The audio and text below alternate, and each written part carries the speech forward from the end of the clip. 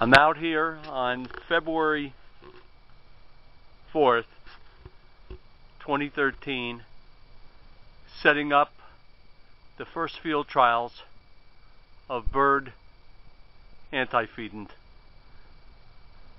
Pin oak tree right outside the chemistry building here on the campus. And this is a bird feeder that is set up with sunflower seeds and some uh, minor assortment of wild bird seed, mostly black sunflower seeds, untreated. Over here,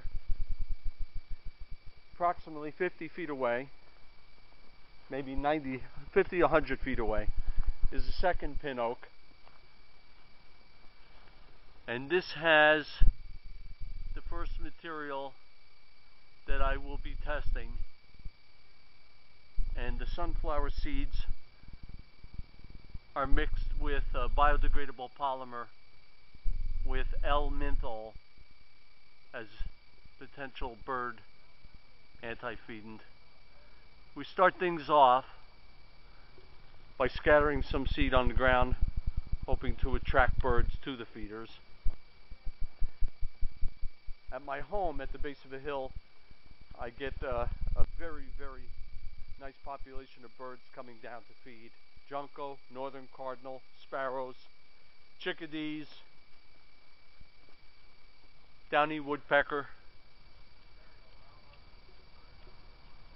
blue jays.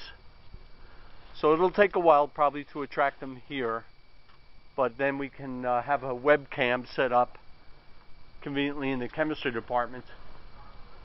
And that will be up outside uh, these windows.